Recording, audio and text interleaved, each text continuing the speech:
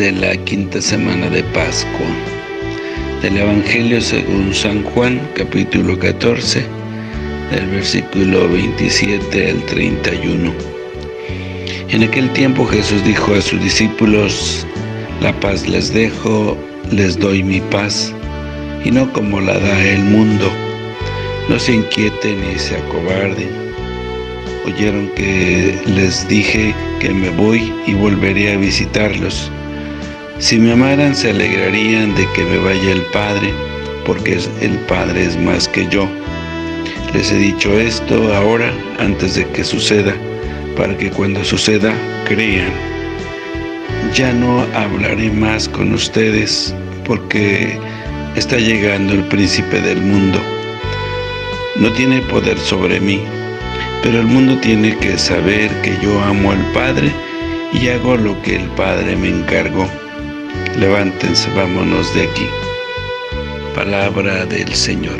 Gloria a ti, Señor Jesús. En un clima de despedida de Jesús hay una preocupación lógica por el futuro. Y Jesús les tranquiliza, les dice, las, la paz les dejo, mi paz les doy. Eso sí, no es una paz barata, sino una paz que viene de lo alto no se la doy yo como la da el mundo, dice Jesús. La consigna de Jesús es clara, no pierdan la paz ni se acobarden. Es verdad que, dice Jesús, me voy, pero volveré a su lado. Si me aman, se alegrarían de que me vaya el Padre. La paz y la seguridad que Jesús promete a los suyos deriva de la unión íntima que Él tiene con el Padre. Él ama al Padre, cumple lo que le ha encargado el Padre, y ahora vuelve al Padre, como volverá a los suyos y les apoyará y les dará su paz. Las palabras de Jesús en el Evangelio de hoy las recordamos cada día, cada día en la misa antes de comulgar cuando el sacerdote dice, el Señor, Señor Jesucristo, que dijiste a los apóstoles, la paz les dejo, mi paz les doy. También ahora necesitamos esta paz, porque puede haber tormentas y desasosiegos más o menos graves en nuestra vida personal o comunitaria, especialmente en este tiempo que estamos viviendo la pandemia de este virus como en la de los apóstoles contemporáneos de Jesús, que fueron perseguidos. Esto nos da serenidad de que Jesús está presente en nuestra vida. Esta presencia siempre activa del resucitado en nuestra vida la experimentamos de un modo privilegiado en la comunión, pero también en los demás momentos de nuestra vida. En otra parte Jesús dice, yo estoy con ustedes todos los días. Cuando Él se despide, le dice eso a sus discípulos. En otra parte dice, donde hay dos o tres están reunidos en mi nombre, ahí estoy yo. Y en otra parte dice, lo que hagan a uno de ellos, a mí me lo hace. La presencia del Señor es misteriosa y solo se entiende a partir de su ida al Padre, de su existencia pascual de resucitado. Me voy y vuelvo a su lado, dice. A veces experimentamos eh, más la ausencia de Cristo que su ausencia. Puede haber eclipses que nos dejan desconcertados y llenos de temor y cobardía, como también en el horizonte de la última cena se cernía la hora del príncipe de este mundo, que llevaría a Cristo a la muerte. Pero la muerte no es la última palabra. Por eso estamos celebrando la alegría de la Pascua.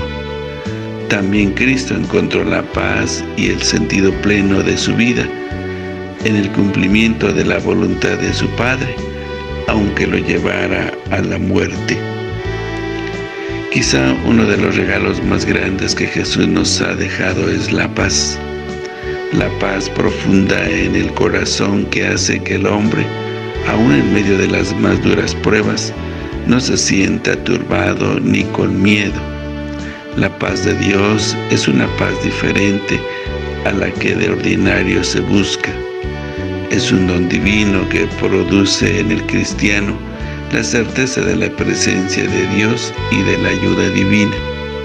No es una paz artificial producto del no afrontar nuestras responsabilidades o compromisos, paz que muchas veces es cobardía o evasión, un rostro sereno en medio de una tormenta, de una crisis, es la mejor señal de la presencia de Dios en él. Algo ha asombrado a los hombres de ciencia que han estudiado la sábana santa. Es la enorme paz que refleja el, rostro del hombre retratado en este lienzo. Un hombre que al parecer fue martirizado de una manera atroz y que sin embargo muere con un rostro sereno. Es una paz que se consigue haciendo la guerra a nuestro egoísmo, a fin de dar espacio al Espíritu para que éste crezca en nosotros y nos pacifique interiormente. Te invito a que le pidas al Señor esta paz, la paz que hace de nuestra vida preámbulo del cielo. Que el Señor los bendiga.